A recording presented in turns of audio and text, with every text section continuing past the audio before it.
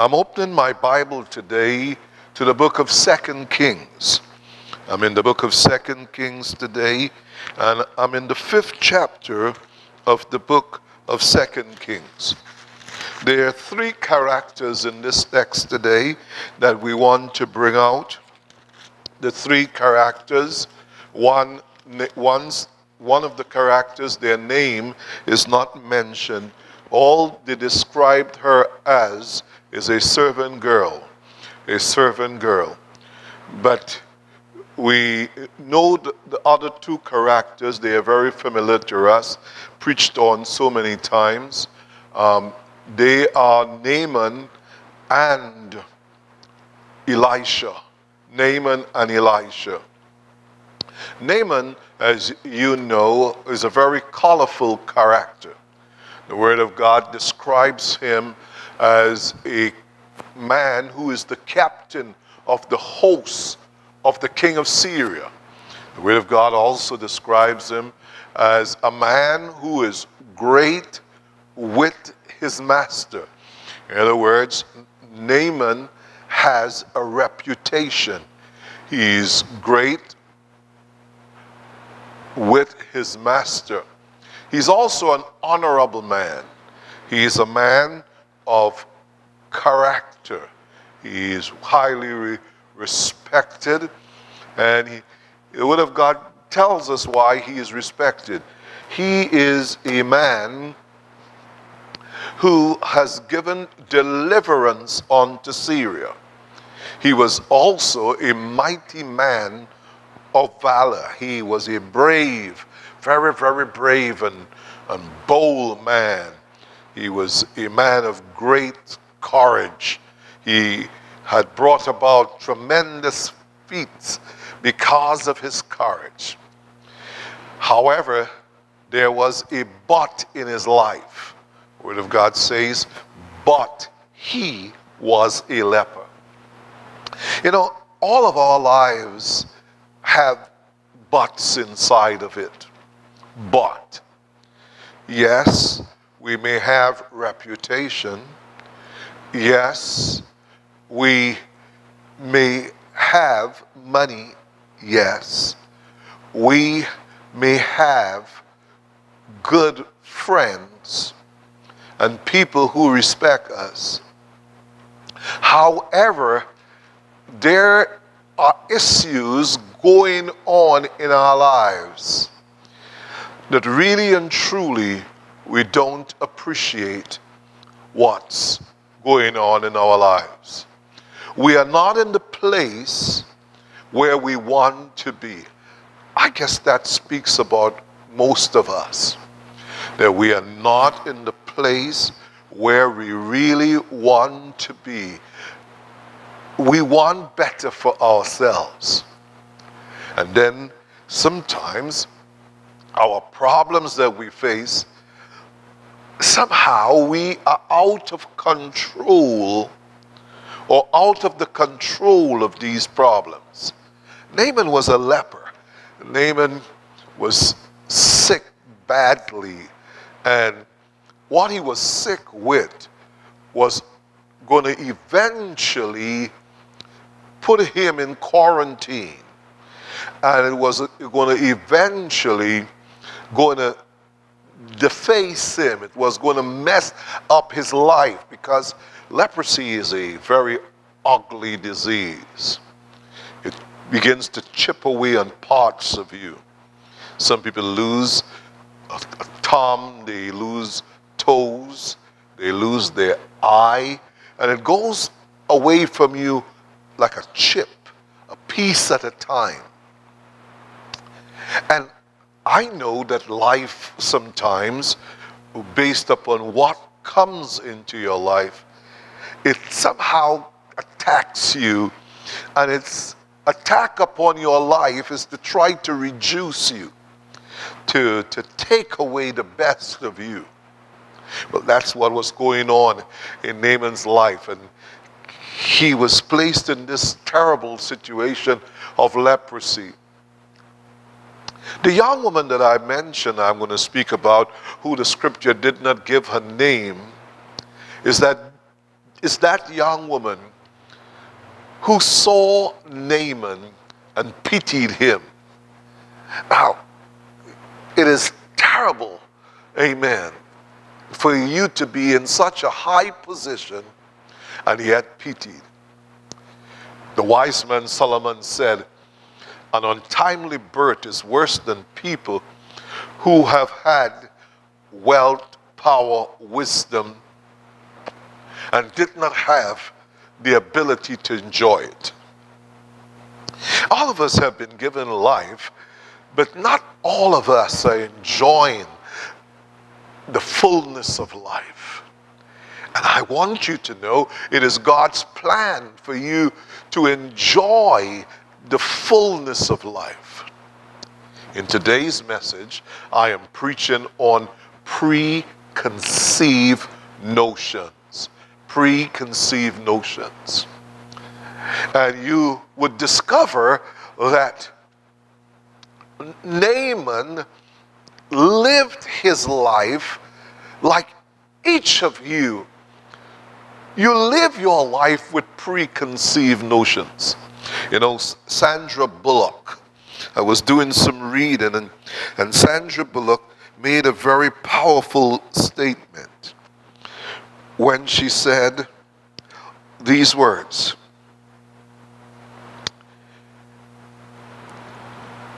When your mind tries to verify a preconceived notion, you can miss the obvious. You can miss the obvious. Many a times, we live our lives with preconceived notions. And by the way, even sometimes our parents, um, our friends, they have preconceived notions about us. So do we grow with preconceived notions about ourselves. And when these notions becomes our realities and we face our realities, we find ourselves being confronted with major demons in our lives. You see, Naaman had reached a place where he had to deal with a major demon in his life. The demon of leprosy he had to face in his life. So he was looking for help. The young girl at his house said that there is help for Naaman. There is help for Naaman. She said it in these words I wish that my master was in Samaria. If my master was in Samaria, he would have met with the prophet, verse 3.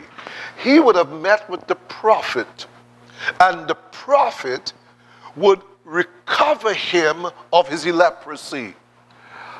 There is an answer for him. I want you to know that God, in the midst of your crisis, in the midst of your troubles, has answers for you. This is one thing I know without a shadow of a doubt that God has answers for every problem, every situation you face, every decision that you have to make, if you can really hear the voice of God and find yourself in the place with God and where God wants you, you can have the answer. The young woman said, if Naaman can only get to Samaria, to get to Samaria, Naaman took his journey then into Samaria. But Naaman had preconceived ideas of how his, his well being will come about. just like you, just like me. Oftentimes we have our own preconceived ideas about the well being of our children, the well being of ourselves, the well being of our future, the well being of, of, of how life will take us. And we kind of prepare ourselves. And yes, we prepare ourselves to ensure at least we can be prepared for what we are going to face.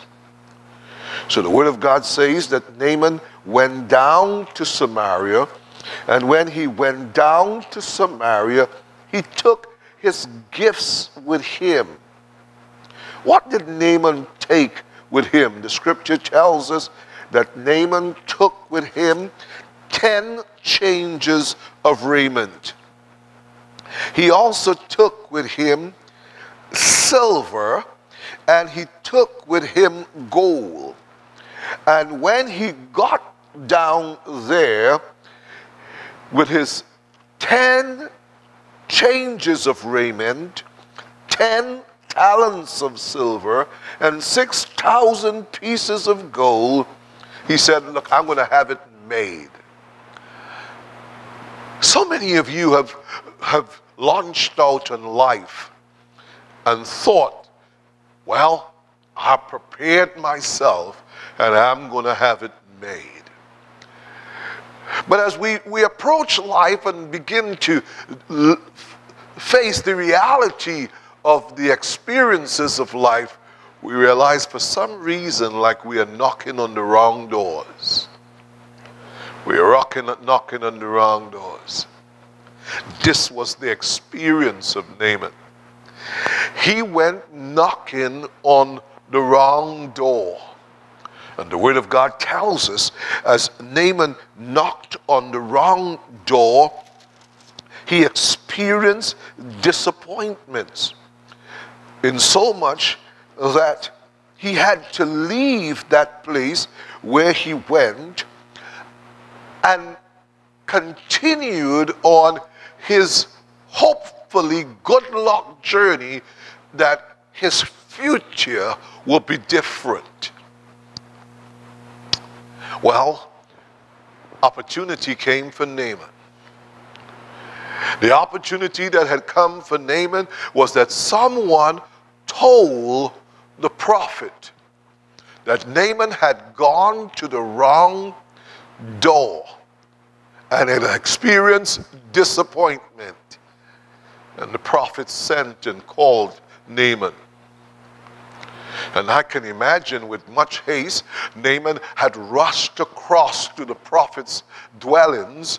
And when he got to the prophet's dwellings, he, he, he, he, he, was ready for the prophet to come out because, of course, by now he he had already advertised that he had 10 talents of silver, he had 10 changes of raiments, he had gold, and it was going to be paying his way into his success, buying his way into his dream future. But I've discovered many a times what you have and what you feel will work for you don't work for you. It is so important, amen, to, to, be, to be living your life open, living your life open, having an open door into your life. Because you do not know what's going to come in to your life that will give you the unexpected blessing that is needed. And particularly when you open the door to Almighty God. When I speak about opening doors, I want us to be very careful and to guard the doors of our hearts. You know, I have lived long enough to encourage my, my younger generation that you, you do not make decisions only out of your heart. You make decisions out of your head as well as your heart. It must be, it must be balanced. Your decision making must be balanced not only by your emotions, but your decision making must be balanced by thought, by consideration, and by prayer. Naaman, because of his popularity, Naaman, because of his influence elsewhere, th- thought that his, his influence would have worked over God. I want you to know that none of us have, an, have a premium in God. Absolutely none of us have a premium in God. All of us live at the mercies of Almighty God. And what is unique about the mercies of Almighty God? Jeremiah the prophet says that God is faithful and his mercies they are new every morning. Yes, that's what makes God unique. In that God does not really give us rightly what we deserve for our inconsistencies and our disobedience in life. But God is ready to show us our, show us his mercies and, and beautify our lives with his faithfulness. So the story goes on that, that Naaman found himself at the prophet's house. And when he found himself at the prophet's house, the prophet said to him these words through his servant Go to Jordan and dip seven times. Go to Jordan and dip seven times. Note two things here. One, the prophet did not come out. Two, the prophet said to him to go to Jordan and dip seven times. Watch at Naaman's response. Watch at Naaman's response. The Word of God says, when Naaman heard, verse 10 of the chapter, when Naaman heard from the man of God that he should go to Jordan and wash, seven times dip into Jordan, and thy flesh shall come again to thee, and thou shalt be clean. Now, those that last clause there, and thou shalt be clean, and thy flesh shall come again to thee.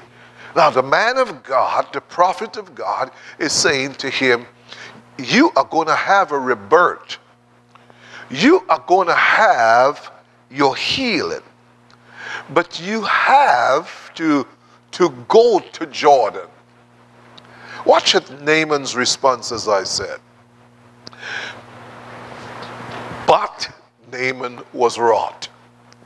Naaman became angry and went away and said, Behold, I thought, I thought he will surely come out. He sent his servant. I thought that he will surely come out and stand and call on the name of the Lord his God and strike his hand over the place and recover the leper. I thought.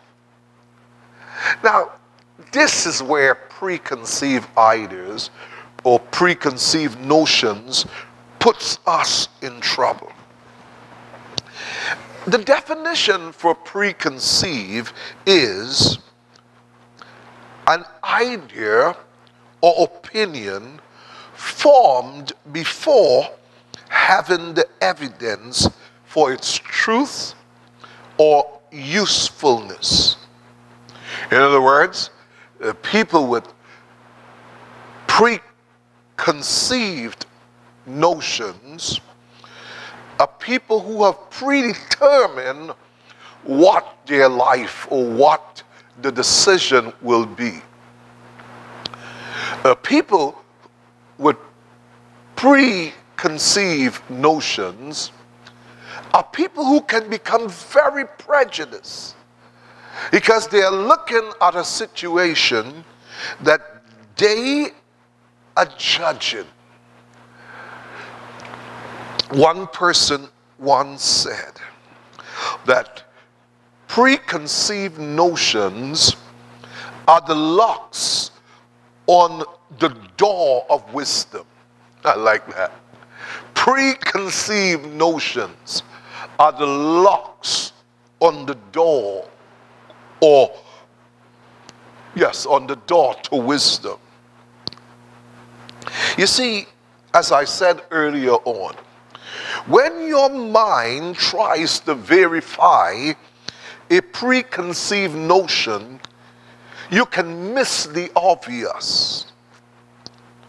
Naaman had missed the obvious because he wanted to live his life based upon his own ideas, his own belief, his own concept. He was a man who had experienced some success in those ways of operation. So it was his inclination to think that everything is going to be the same as it relates to how he's going to get through with every problem in, in his life. I want you to know by now you would have realized this that that is wrong. By now you'd realize that all that your dreams would wanted to be and it, it did not come true and you are not what you thought that you would have been or you are living your life now with disappointments or you are in a place where your wimp and your impulse did not give you the success you were looking for or have put you in the position where you need to be. My friends, one of the things that we have to continue to live with is the inevitability of life. I want you to know change is inevitable.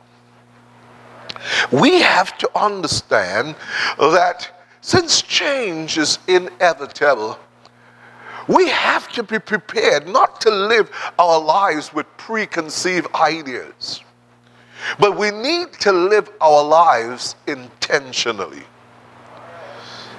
You have to.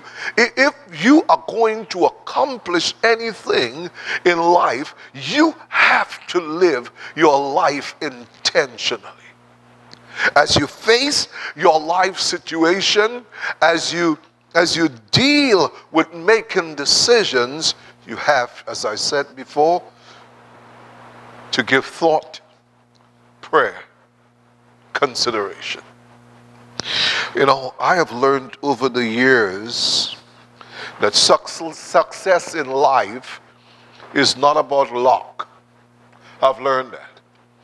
Success in life is not about luck.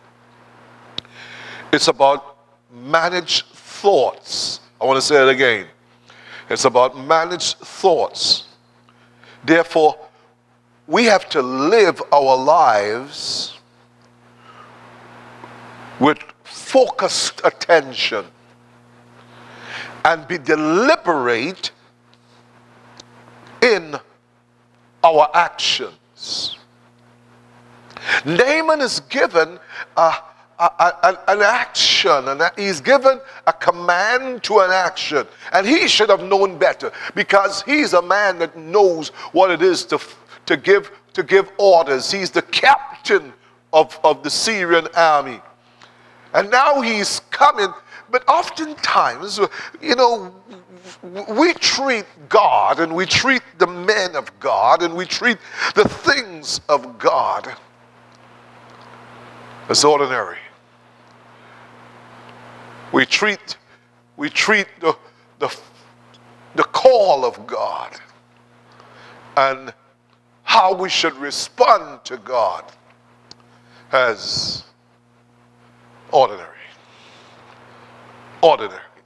Ordinary. But I want you to know, my precious friends, when God gives a command, God's commands are yea and amen. You cannot, and I say that, watch my finger, you cannot change God's mind. And, and whatever you have, talent or no talent, money or no money, influence or no influence, none of us, watch the finger again. Is this one I use? Watch the finger again. None of us have a premium in God. All of us have to be ready to go God's way. To go God's way. You see, sometimes we want to operate on logic. See, Naaman thought that the logical thing to do for a man of his stature was to send him to the rivers of Damascus, Pharpar and Abana. Those were the two rivers he called. He said, Why did the man Elisha send me to Jordan? The rivers of Damascus, Pharpar, and Abana are far better rivers than the river of Jordan. Now, I have been to Jordan in, in Israel. I've been to Jordan. I, I have been to the Jordan River I have counted five times. Um, Jordan is not a pretty place. I've seen it myself. Bamboo stools all over the, the ridges of that river. Um, the waste that comes down through the valley comes and flows right into the Jordan. And, and the water is, is, is murky and, and green and and because it's a restricted area, it's an area where you cannot fish now. Um, tilapia, it's fresh water, finds a comfortable place to spawn and to grow and to inhabit.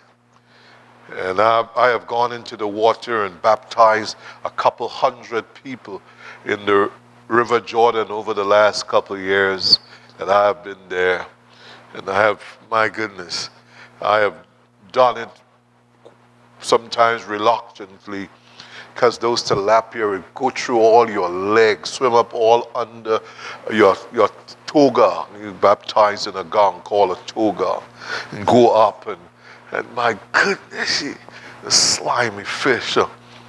And you, Naaman probably you know, must be saying, listen to me, this is not, this, this is not the place I want to be.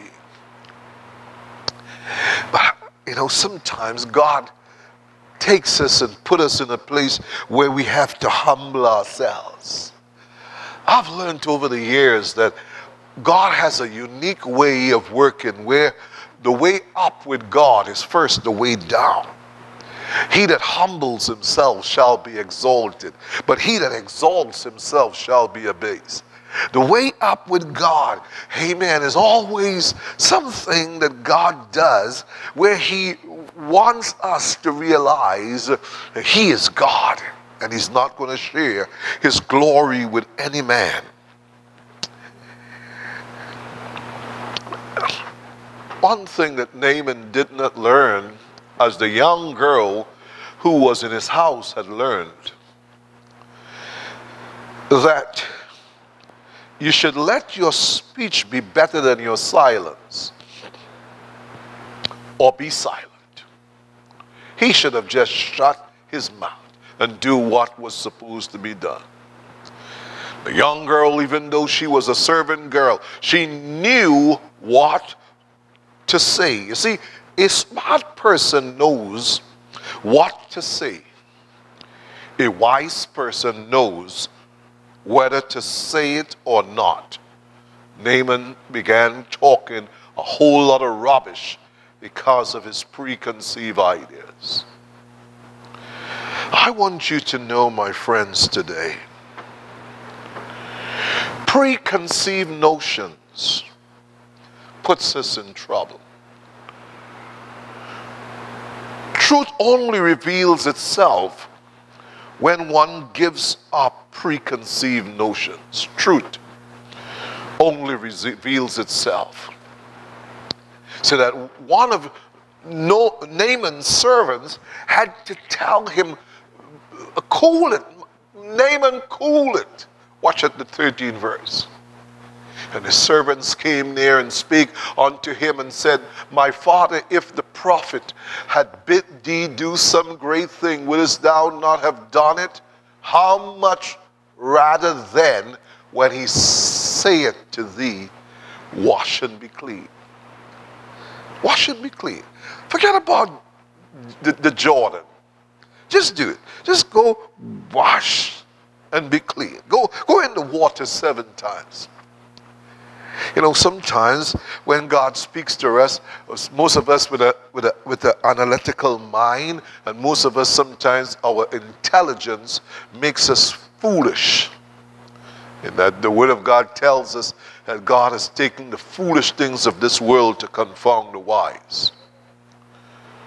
Because many a times we find ourselves so caught up in, in, in, in, in who we are and, and, and, and, and what we think, and, and we fail to submit to what God wants to do.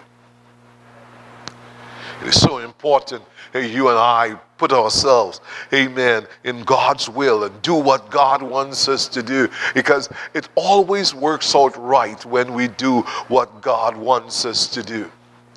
So Naaman took the advice. Naaman took the advice and he put away his preconceived ideas. Yes, he put away his preconceived ideas. You know, it is said that it's amazing what ordinary people can do if they set out without preconceived notions. It's amazing what ordinary people can do. Now, or Naaman is now making himself ordinary because who is he, who he's listening to? He's listening to his servants. He's listening to his servants, and his servants came near and spake to him. Sometimes we just have to listen to ordinary people like me, who, who sometimes you think, Amen, who they are. But God is speaking to you. God is using his servant to speak to you about change, about getting yourself cleaned up, and about looking new. That's what Naaman was going to be experiencing if he would listen. It's amazing what ordinary people can do when they switch from being arrogant and proud and begin to stop their preconceived notions and submit to the will of God. The Word of God says that Naaman went down into the water. He went down into the water and dipped himself seven times. And he dipped one dip, and he dipped two dip, and he dipped three dip, and he dipped, and he dipped, and he dipped, and he dipped. you know, remember that old Sunday school song? And he came up clean. Bible tells us that Naaman's flesh was like a child's flesh Unto the flesh of a little child, and he was clean. That's what God does. When we put away the preconceived notions of what your end will be or what your tomorrow will be, it is not that God is robbing us of our ability to plan and our ability to think. God wants us to think. God wants us to plan. But the wise man Solomon said these words Many are the plans in a man's heart, but only the purposes of God are established. Yes, only the purposes of God are established. Today, I want you to take this message and begin to look again at what God is saying to you. And as you look again at what God is saying to you, I want you to open up your heart. Open up your heart to God. I'm going to invite Sister John and the musicians to come back and do one more worship song while I give you time to think. And as I give you time to think, I, I want you to begin to put a prayer towards some changes in your life. Here they are coming, amen. Uh, to put some changes in your life and watch God do amazing things for you. Amen.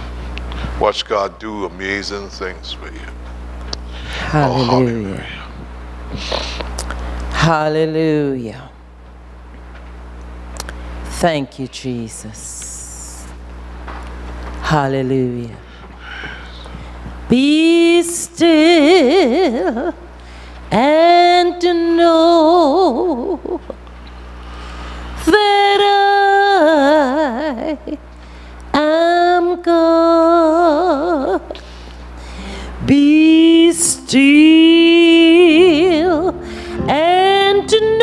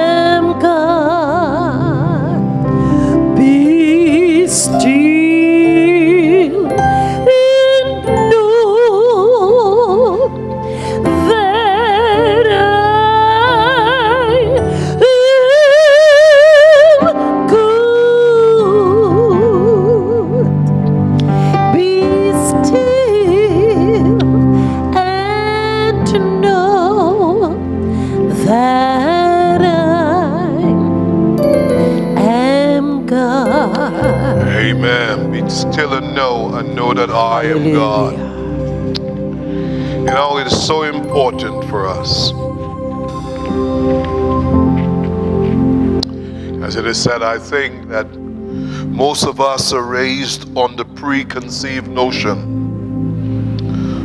of the choices we are supposed to make.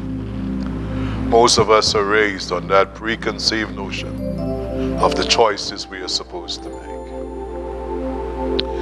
But, uh, but life sometimes sends us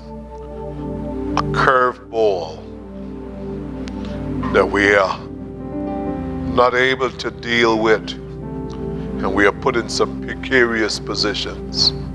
Our lives are challenged. And when our lives are challenged like this, I love what President Andrew Jackson said. President Andrew Jackson said, When the time for action arrives, stop thinking and go in. When the time of action arrives, stop thinking and go in.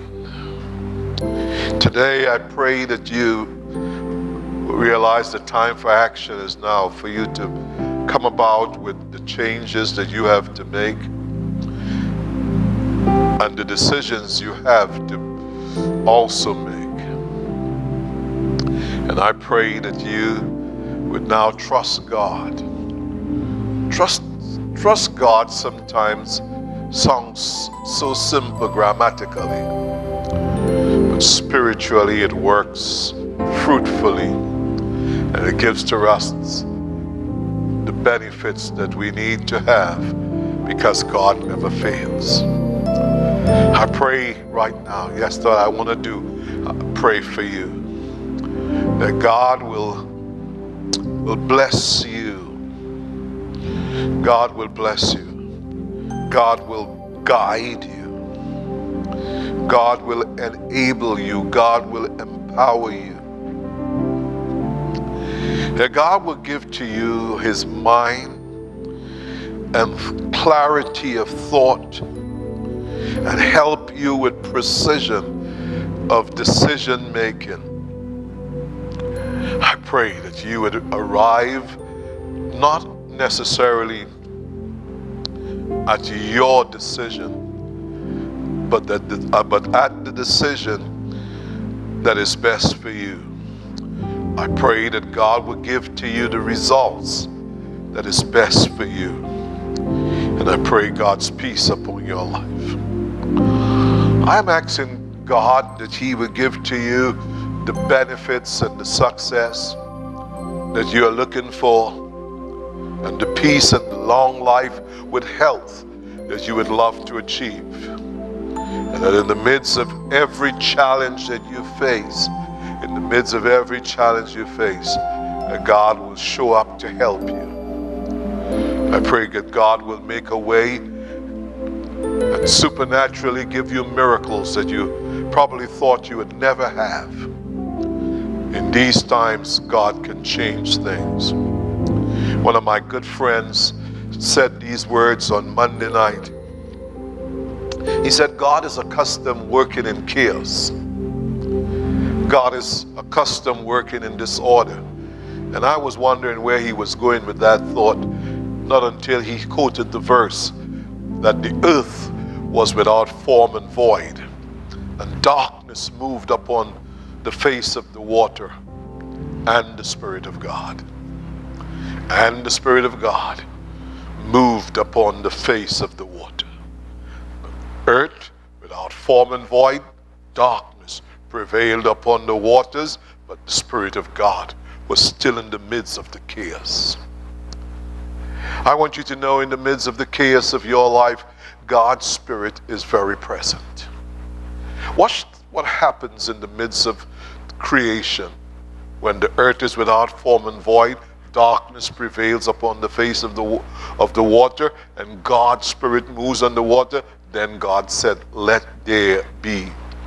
And out of all the chaos God let there be put order in the universe.